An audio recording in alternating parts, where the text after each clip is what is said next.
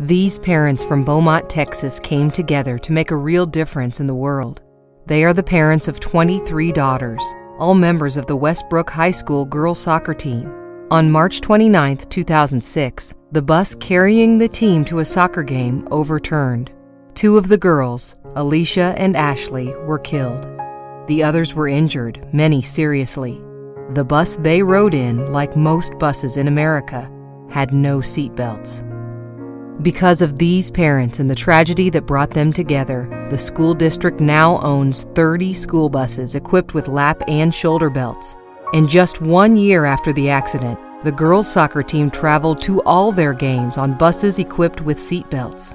And because of these parents, on June 8, 2007, the state of Texas joined California in passing a law mandating three point lap and shoulder belts on all school buses beginning in 2010. Every day, we put our children, over 23 million of them, on school buses without restraints. Now, like the parents in Beaumont, you can change that in your school district. Across the country, progressive school districts have voluntarily installed lap and shoulder belts on newly purchased school buses. Today's parents expect their children to be belted every time they ride in a vehicle. This priority on belted seating is what has driven school districts to implement lap and shoulder belts in advance of state legislation. Momentum is building, and it's time to take action. This video presents the case for equipping school buses with lap and shoulder belts. We'll explain the importance of seat belts for crash protection, reinforcing a lifelong habit for our children, improving behavior on the school bus, and increasing school bus ridership.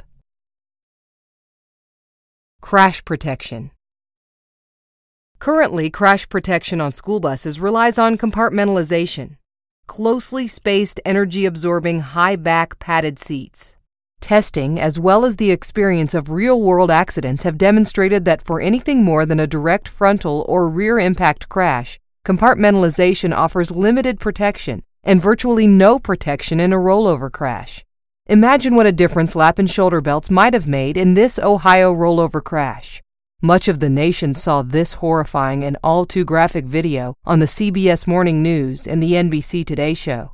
Research by the National Highway Traffic Safety Administration, also known as NHTSA, indicates that lap and shoulder belts reduce injuries and fatalities by about 45% in all types of crashes and up to 70% in rollover crashes. NHTSA currently requires lap belts in certain types of small school buses, and recently stated that the optimum protection for children in large buses would be provided by lap and shoulder belts combined with compartmentalization. School buses are traveling longer distances these days as children go to sporting events and other activities outside their communities on increasingly crowded roads. News stories of school bus accidents are becoming more and more frequent, pushing the urgency for belted seating in the minds of parents. Reinforcing a lifelong habit. For most children, their first ride on the school bus is the first time they ever ride unrestrained in a motor vehicle. In other words, the only place a child is taught to not wear a seatbelt is in school transportation. This sends a contradictory message to our children that seatbelts can be unnecessary inside a moving vehicle. So when our children get on the bus and don't buckle up, the habit of seatbelt use is not reinforced, and we miss a prime training opportunity.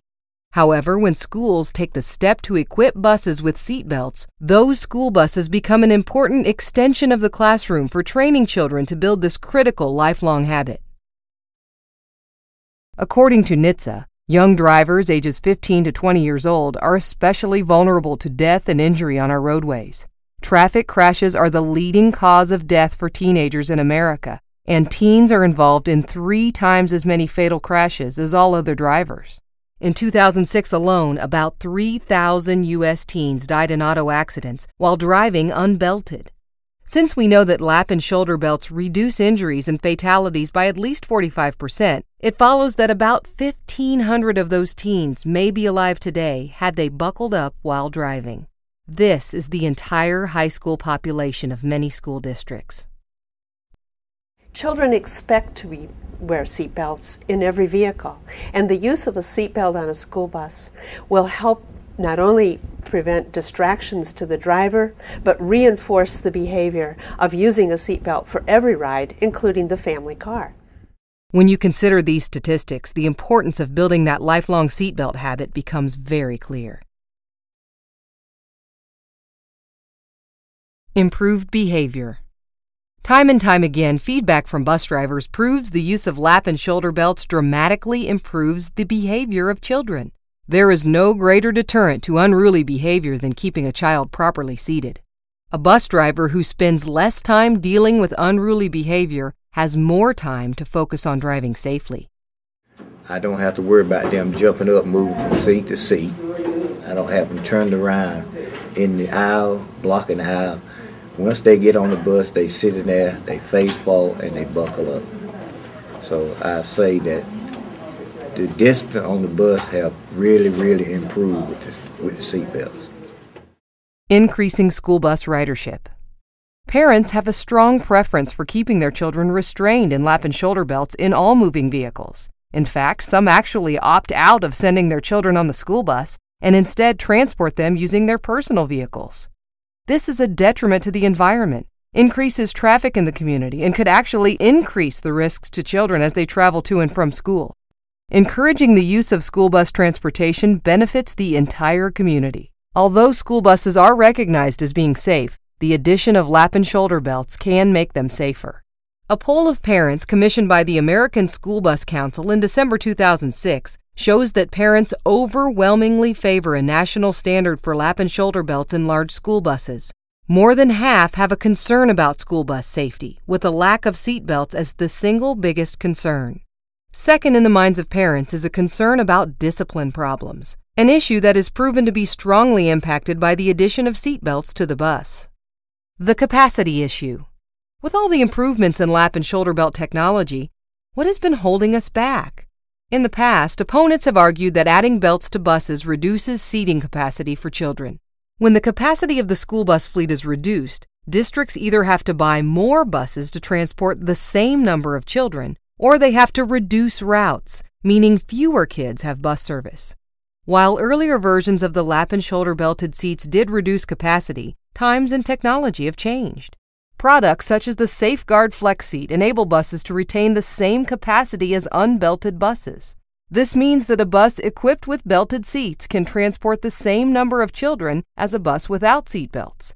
And the addition of seat belts no longer means buying extra buses or increasing costs such as fuel, maintenance, insurance, personnel, and parking. This removes the significant financial obstacle that has held back lap and shoulder belts on buses in the past. The path is clear to take action. While legislation is pending in several states, there is no reason to wait for new laws. The most progressive school districts in the U.S. have taken the steps to equip newly purchased school buses with lap and shoulder belts. A child's safety is worth the cost. If you are concerned about this issue, you are in a position to directly impact the safety and well being of children in your district by moving to equip school buses now. For information and tools to help with your local advocacy efforts for lap and shoulder belts on school buses, visit safeguard4kids.com and safebusesforkids.org.